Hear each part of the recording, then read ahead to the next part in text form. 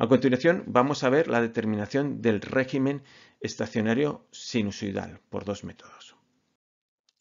El régimen estacionario de un circuito viene dado por la solución particular de la ecuación diferencial que rige el comportamiento del circuito. Las formas de determinar los parámetros de la solución particular es el método de los coeficientes indeterminados o cualquier otro método que permite la resolución de la ecuación diferencial o el que nosotros veremos en la segunda parte del tema y es el preferido que es el método simbólico porque en el tipo para los circuitos funcionando en régimen estacionario sinusoidal el método simbólico es mucho eh, mejor, más rápido, menos proclive a errores y bueno, pues el método simbólico es el que nos permite calcular rápidamente eh, el régimen transitorio de cualquier, cualquier circuito de una manera mucho más rápida que por otras técnicas. Dentro del método de los coeficientes indeterminados vamos a sobrevolarlo rápidamente porque como no es algo que mm, eh, utilicemos en esta asignatura, simplemente es algo ilustrativo, veremos cómo, cómo se articula. Primero consideraremos la solución particular de una ecuación con la misma forma que mm, el término independiente como los términos independientes que nosotros consideramos en este tema pues son ondas sinusoidales, pues probaremos con una, con, una intensidad o con tensiones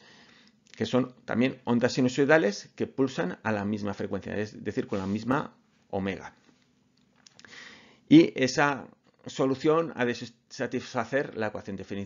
diferencial. Por lo tanto, sustituimos, sustituimos eh, esta solución tipo en la ecuación que hemos obtenido antes de aplicar las leyes de Kirchhoff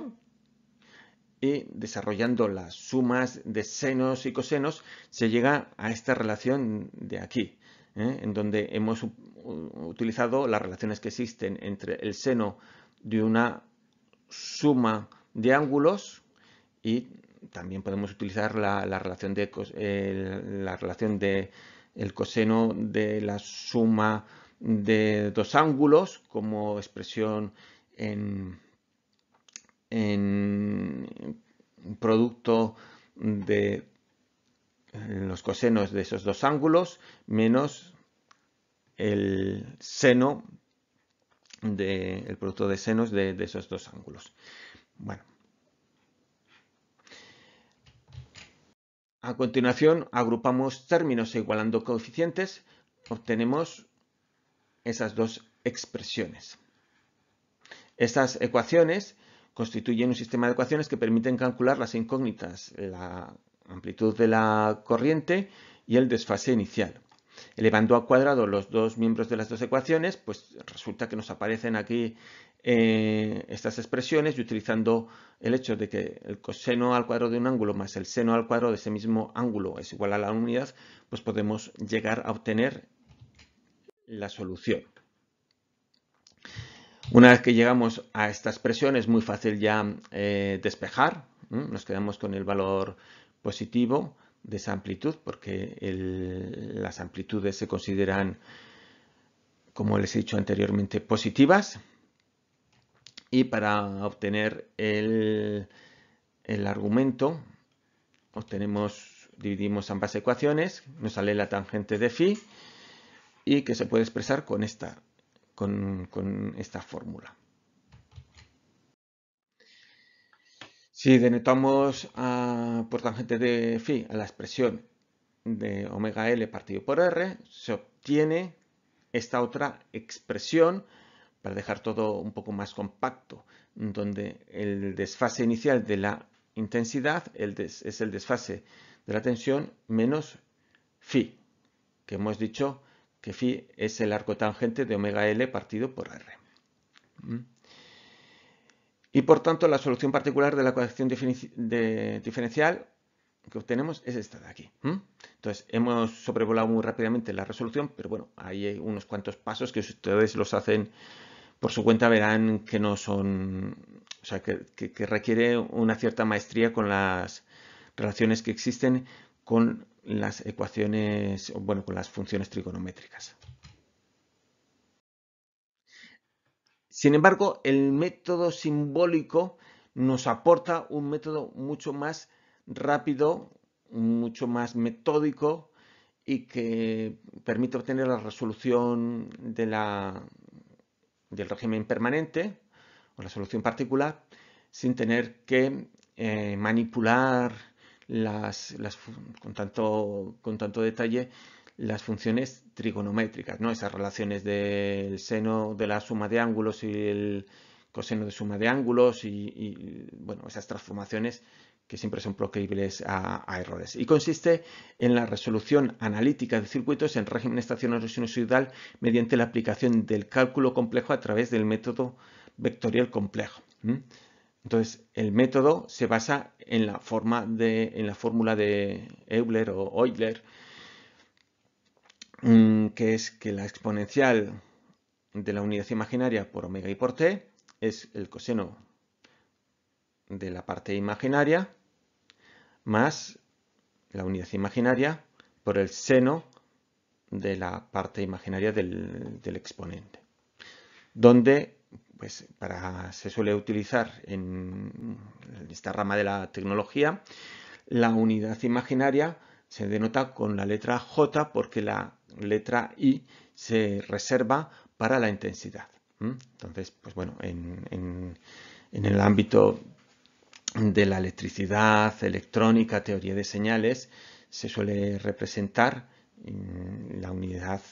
la unidad imaginaria con la letra J para evitar cualquier tipo de confusión. Las calculadoras siguen manteniendo la letra I de, imaginaria. Esta ecuación de la fórmula de Euler eh, representa en el plano complejo un vector unitario que gira en el sentido contrario a las agujas de reloj con una velocidad angular de omega radianes por segundo. Por eso alguna vez les he comentado anteriormente que omega, aparte de ser la amplitud, está muy, muy em, relacionada o bien con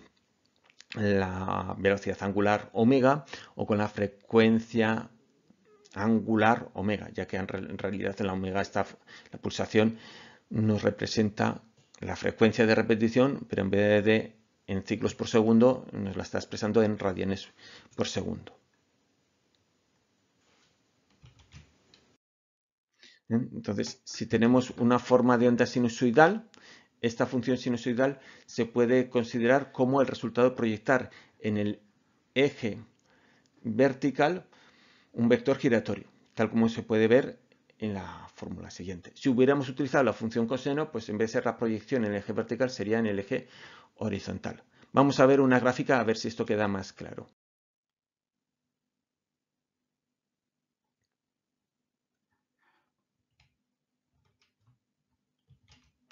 Si tenemos la proyección en el eje horizontal, eh, o sea, en el eje vertical, obtenemos la gráfica del seno a través de un periodo y si la proyectamos en el eje horizontal tenemos la gráfica del coseno. Entonces, eh, para utilizar la proyección en el eje horizontal o en el eje vertical es análogo a desplazar el origen de tiempo eh, t cuartos, como hemos visto la, la relación que existe entre el seno y el coseno, es equivalente a sumar o restar pi medios al desfase inicial o rotar 90 grados los ejes eh, real e imaginario o utilizar las funciones de cosenos por senos o intercambiar la parte real o la parte imaginaria. Aquí tenemos otra representación de Russell, de Russell Kigley en donde pueden ver otro análogo mecánico donde también se está proyectando en el eje horizontal y en el eje vertical el movimiento giratorio de lo que nosotros denominaremos fasor, eh, ese sistema mecánico o esa idea, ese concepto mecánico que nosotros llamamos fasor y estamos em, generando ondas del tipo seno o coseno con un desfase inicial nulo. Y aquí arriba lo que tenían era la fase de la onda, que iba aumentando linealmente, lo que pasa que como se suele representar entre 0 y 2 pi radianes o entre menos pi radianes y más pi radianes, pues bueno, tenemos esa relación de que la, el, el, desfase va aumentando de forma linealmente y luego tenemos un salto entre 2pi y 0 o entre 360 mm, y 0 o entre más menos 180 grados o entre más menos pi radianes.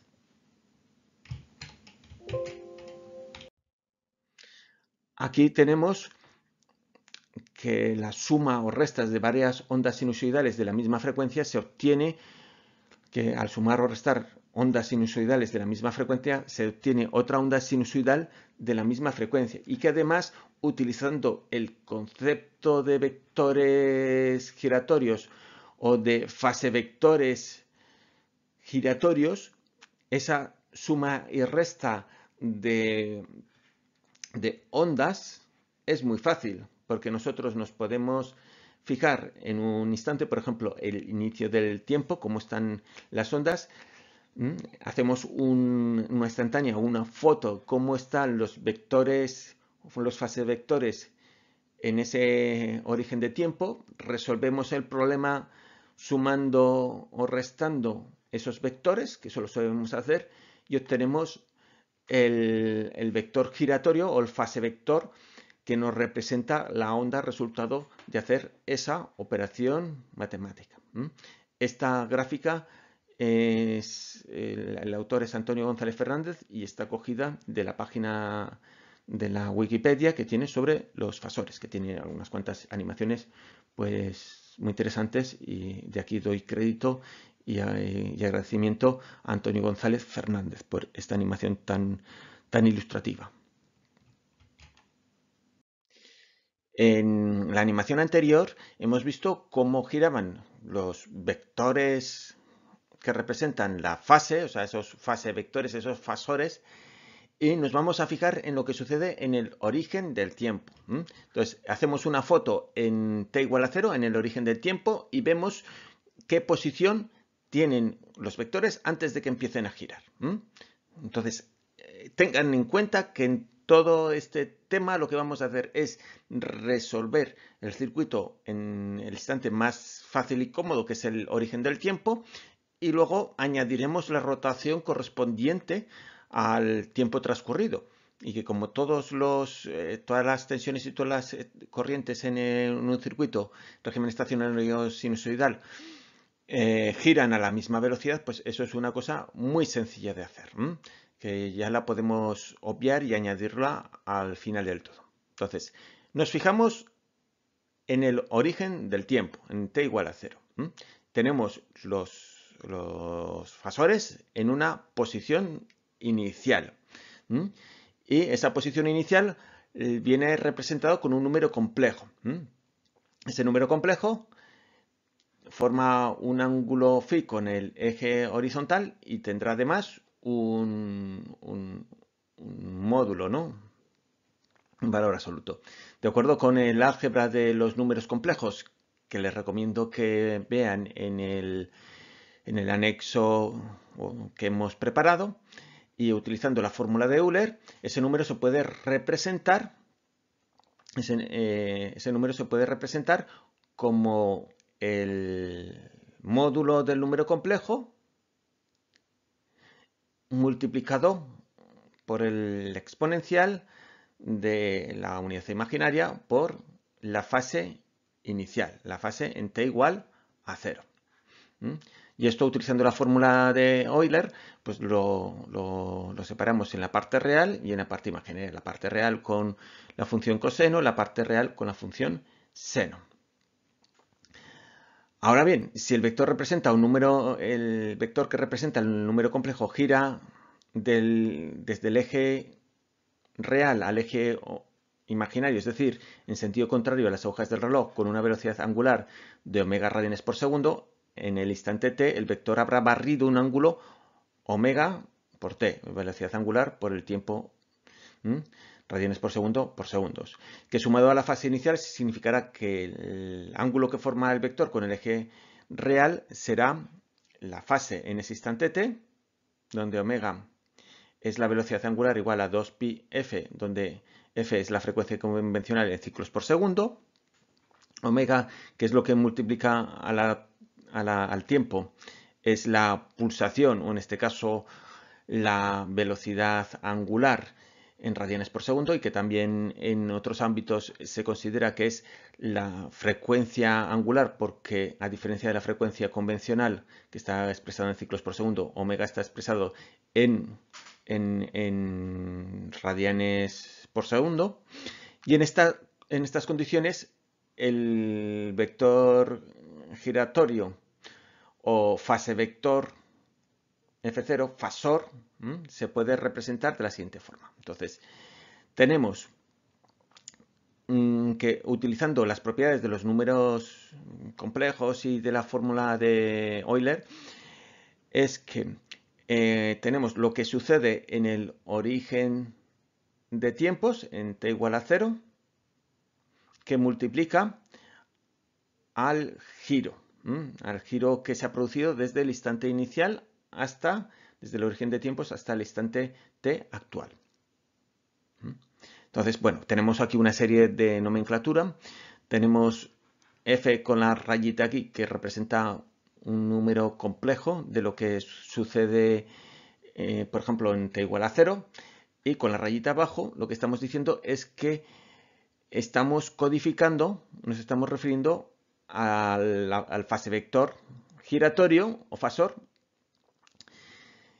Mm, el cual tiene una parte que es que corresponde a lo que sucede su posición en el origen de tiempos, más luego lo que ha girado desde el origen de tiempos, con una velocidad angular omega, que representa la, pulsación del circuito. Bueno, eh, dependiendo un poco de la fuente que ustedes consulten, igual esta nomenclatura se puede variar ligeramente. Pero al final nosotros em, confundiremos número, número complejo con fasor, porque al final en esta asignatura utilizaremos los números complejos para representar la posición de los fase vectores en el origen del tiempo y luego si queremos saber qué sucede en el circuito un tiempo después, pues añadiremos el término de lo que ha girado ese fase vector, ese fasor, desde el origen del tiempo hasta el instante que queramos, que queramos conseguir. Entonces, la aplicación del método simbólico para determinar la solución particular de la ecuación diferencial se basa en la transformación del circuito al campo complejo, basándose en la posibilidad de representar las ondas sinusoidales mediante fasores. Entonces, mm, transformamos la fuente del circuito del campo complejo utilizando el concepto del fasor. Si nosotros queremos, mm, tenemos una fuente o un elemento que queremos codificar, utilizaremos la parte mm, real que nos, mm, con el coseno y la parte imaginaria con el seno. Dependiendo de lo que nos interese, utilizaremos la proyección horizontal o vertical de ese fase vector giratorio. El fasor lo identificamos con una raya abajo para que quede claro que estamos representando algo que gira, ese, ese fase vector giratorio. También lo podemos representar con mm, la posición en el origen de tiempos. En el origen de tiempos, ese fasor es un número complejo que tiene una, un módulo que corresponde a la amplitud en este caso y un argumento, porque estamos aquí expresando ese fasor como un, número complejo en su forma polar. Esto a su vez, si queremos ser mm, más, más rigurosos, nos pensaríamos con lo que sucede en la posición en el origen de tiempos, más luego lo que ha girado desde ese origen de tiempos. En el instante t habrá girado e por eh, la exponencial de j omega t. Y por la fórmula de Euler es igual a esta expresión. Sustituyendo en la ecuación diferencial la fuente sinusoidal por su fasor asociado, tenemos que R por intensidad más L por la derivada con respecto al tiempo de la intensidad es igual a ese fasor. En cuanto a la intensidad que circula por el circuito, pues también podemos asumir que es una onda sinusoidal de la misma pulsación que las fuentes del circuito y la podemos expresar como la posición de ese fasor en el origen de tiempos, donde determinaríamos el módulo y el argumento de ese fasor en origen de tiempos, más luego lo que ha girado a partir del origen de tiempos. Y esto lo podemos expresar mm, en forma binómica con la parte real más la parte imaginaria. Sustituyendo en la ecuación diferencial y haciendo la derivada de esta intensidad, obtenemos que, eh, sobre todo la derivada en función en forma exponencial, que es mucho más fácil que obtenerla a través de la forma binómica, obtenemos esta expresión de aquí. Y esto es muy interesante, porque todos los términos, todos los términos tienen eh, como factor e elevado a j omega t. Y esta expresión tiene que, tiene que cumplirse para cualquier instante de tiempo. Bueno, podríamos sacar factor común a e elevado a j omega t, o sea, lo que, ha, lo que girado cada uno de los fasores desde el origen de tiempos hasta el instante t, y como aparece tanto a izquierda como a derecha de la igualdad lo podríamos quitar, o bueno, nosotros solemos decir que, que mm, resolvemos el circuito en t igual a 0, en t igual a 0, la exponente la exponencial de 0 es 1, con lo cual este término se nos va, este término no se nos va, este término no se nos va, y nos aparece una relación, una relación que nos, mm, nos relaciona los fasores en el instante de tiempo t igual a 0. Es decir, que si esta expresión se cumple en el origen de tiempos, también se cumple en todos los instantes posteriores. Para cualquier t se va a cumplir. Esto es muy interesante porque podemos, esto es lo que nos permite resolver el problema en el origen de tiempos y luego ya, si necesito la expresión temporal, añadir, añadir el giro debido a la pulsación del circuito o a la que equivale a la velocidad de giro, la velocidad angular de giro de esos fasores. Mm. Entonces, lo que hemos obtenido es esta expresión de aquí, en donde tenemos la relación de dos fasores multiplicados por un número complejo. Entonces, en esta asignatura, como resulta que resolviendo el problema en el origen del tiempo, lo, lo estamos resolviendo para el resto de los instantes posteriores, vamos a confundir vamos a confundir o, a ser muy poco rigurosos en cuanto si estamos mm, refiriéndonos a un fasor en cualquier instante de tiempo o nos estamos, eh, nos estamos refiriendo a los fasores en el inicio de tiempo, porque siempre, siempre vamos a trabajar en el origen del tiempo y luego si necesitamos saber lo que sucede un tiempo t después, pues le añadimos el término de la exponencial de j omega t. Puede verse que esta ecuación se trata ahora de una ecuación de números complejos en vez de una ecuación diferencial. Es una grandísima, un grandísimo avance. Entonces, la ecuación anterior tenía un producto de dos números complejos igual a otro número complejo. El producto de dos números complejos hemos visto o tienen ustedes en el anexo de los números complejos que equivale a multiplicar los módulos y sumar los argumentos. Entonces, de esta manera obtenemos, despejando de aquí la relación de, los módulos de, los fasores y de esta otra expresión, la relación de los argumentos. Bueno, en la práctica, mm, nosotros en vez de utilizar en, ingeniería eléctrica y en otras ramas del conocimiento de la tecnología, en vez de utilizar los valores de amplitud, utilizamos los valores eficaces. Entonces, si nosotros no decimos nada, estaremos utilizando los valores eficaces que ponemos sin el subíndice 0. O sea que aquí sin subíndice 0 nos estamos refiriendo a valores eficaces, con subíndice 0 nos referimos a amplitudes. Entre ambos dos hay un factor raíz de 2. Otro detalle muy importante, la diferencia entre un número subrayado y otro sin subrayar es que el subrayado es un fasor, fasor que representa una onda y que luego matemáticamente se trata como un número complejo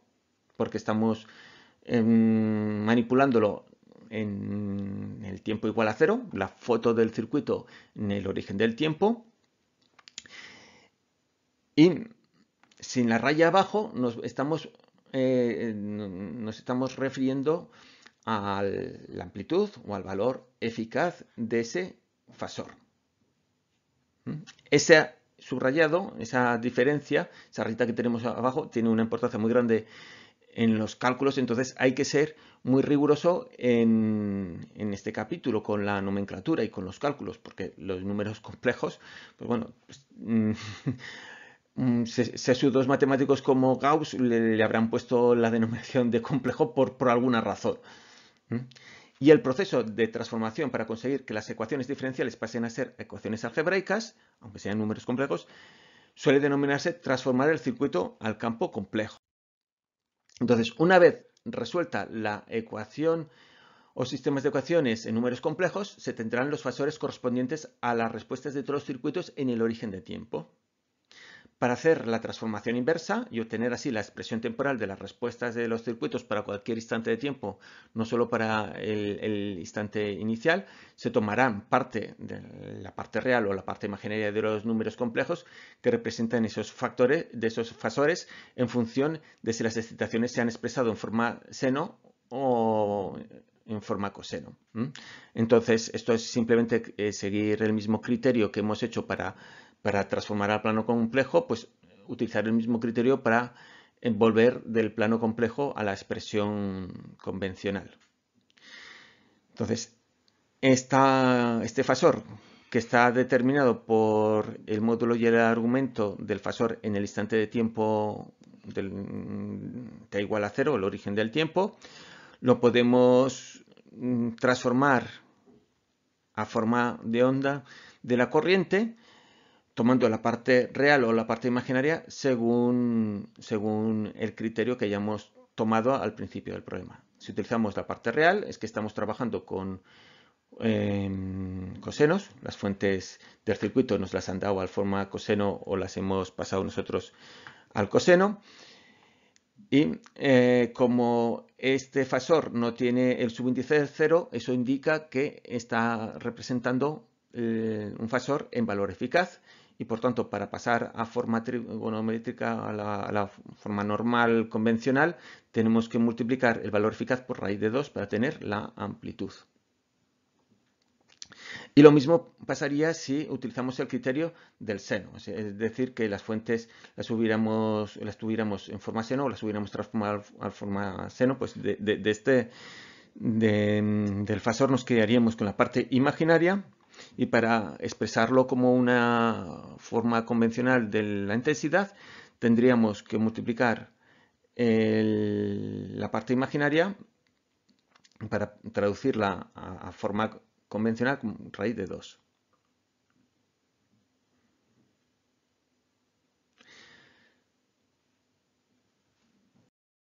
A continuación vamos a ver el procedimiento general para transformar el circuito del dominio temporal al campo complejo. Lo primero que haremos es fijarnos en las fuentes. Comprobaremos que todas las fuentes de excitación del circuito son de la misma pulsación. Y si no lo fueran y se desea analizar el circuito por el método simbólico, será imprescindible hacerlo aplicando el teorema de superposición. Dividiríamos el circuito original en varios subcircuitos y cada subcircuito trabajaría a una única frecuencia porque solo estarían activas las fuentes que pulsan a una determinada frecuencia. Y de esta manera resolveríamos problemas em, por el método simbólico que requiere que em, todas las fuentes tengan la misma pulsación y superponiendo cada una de las frecuencias obtendríamos el comportamiento del circuito original, donde concurren fuentes de distintas frecuencias. Lo siguiente que haremos es comprobar que las fuentes de excitación del circuito están expresadas o todas con la función seno o todas con la función coseno. Si no fuera así, es decir, que parte de las fuentes estuvieran expresadas en forma seno y otras estuvieran expresadas con la función trigonométrica coseno, entonces tendríamos que transformar eh, las del seno al coseno o las del coseno al seno para que al final todas estuvieran con la misma función trigonométrica. Y eso se hace sumando o restando pi medios a la fase inicial. Y ya la tercera parte sería sustituir las expresiones temporales de las fuentes de excitación del circuito por sus fasores asociados, que son números complejos cuyo módulo es el valor eficaz y cuyo argumento es la fase inicial de la onda. Es decir, una expresión temporal de una fuente en donde la función trigonométrica está multiplicada por una constante, habitualmente positiva, la transformaríamos en un número complejo que representa una onda, por eso se llama fasor, cuya, em, cuyo módulo o valor absoluto es la amplitud mm, partido por raíz de 2 para pasar y expresar ese fasor en valor eficaz y eh, con el argumento de la función trigonométrica cuando t vale 0, es decir, cuando esto eh, se anula, esto tendríamos la fase inicial en el origen de tiempos, es el argumento, es el argumento del fasor. Y para indicar que esto es un número complejo que representa una onda, la, mm, la, magnitud en el dominio del tiempo, que depende del tiempo t, de la variable t, tiempo, la expresamos en mayúsculas y subrayadas, porque es la forma que tenemos en este ámbito para indicar que se trata de un número complejo que representa una onda. En realidad, este es el número, el fasor, el valor del fasor en el origen de tiempo. A continuación, sustituiremos las expresiones temporales de las distintas variables del circuito por sus fasores asociados. Por ejemplo, la intensidad en función del tiempo la sustituiremos por el fasor de intensidad poniendo esa letra en mayúscula y subrayándola. Esto será un número complejo que representa el estado de la onda en el origen del tiempo. Lo mismo haremos con la tensión en función del tiempo, que la convertiremos en un fasor, por tanto eh, escribiremos esa U en mayúscula y subrayada. Y de esa manera sabemos que es un número complejo que representa el estado de la onda en el origen del tiempo.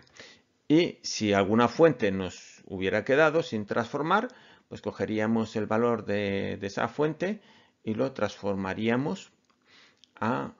su fasor correspondiente, poniendo en mayúsculas el nombre de la fuente, etc. Y a continuación calcularíamos las impedancias complejas sustituyendo el operador derivada de por J omega en las impedancias operacionales del circuito. Fíjense pues que al sustituir D por J omega nos quedará una expresión compleja en la impedancia y por tanto al ser una relación entre ondas la impedancia será un número complejo y por tanto deberá ir en mayúsculas y subrayado. Con esto ya tendríamos el circuito preparado para aplicar las técnicas convencionales que hemos visto hasta ahora, eh, únicamente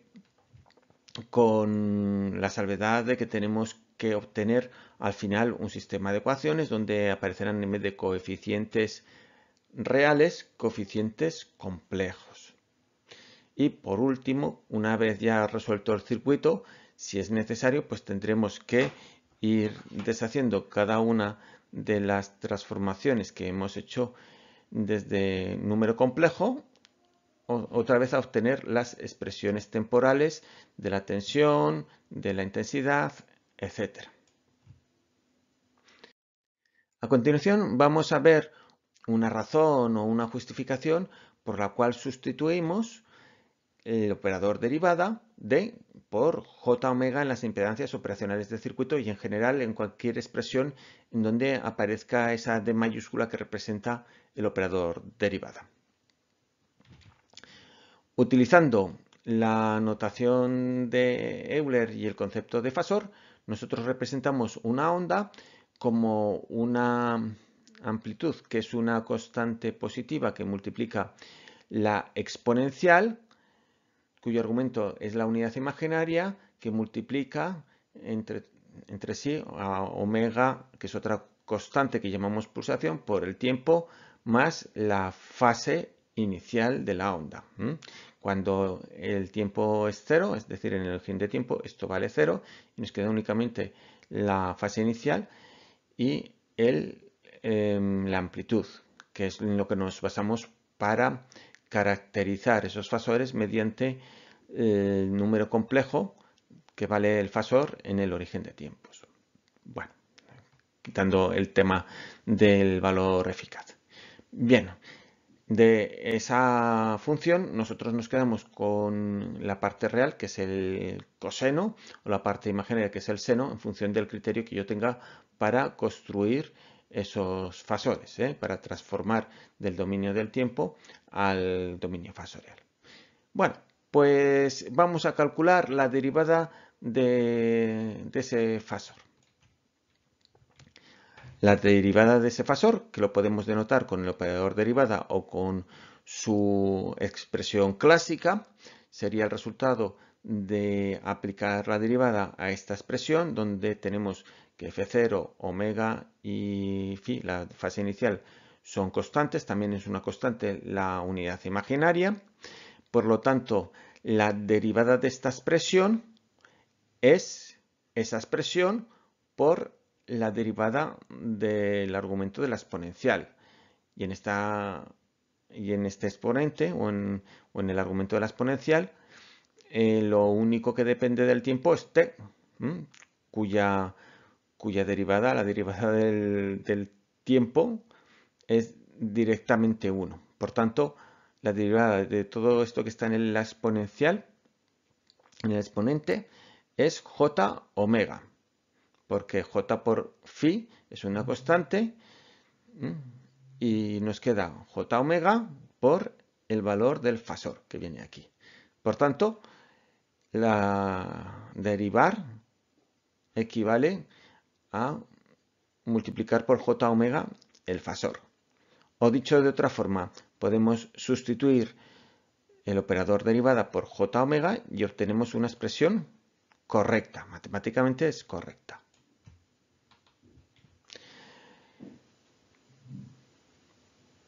Ahora vamos a hacer lo contrario de derivar, que es integrar. Integrar lo podemos representar como el inverso de aplicar el operador derivada. O sea que cuando hay un operador de derivada en el denominador indica integración. Integraríamos desde un instante inicial a un instante final con respecto a a la variable temporal y eh, la integral de esta función pues es esa misma función dividida por la derivada del exponente este de aquí. Y la derivada de todo esto de aquí, pues como lo único que depende del tiempo este, pues nos queda que tenemos que dividir por j omega y luego habría que añadir una constante que no se considera, porque siempre tomamos un número,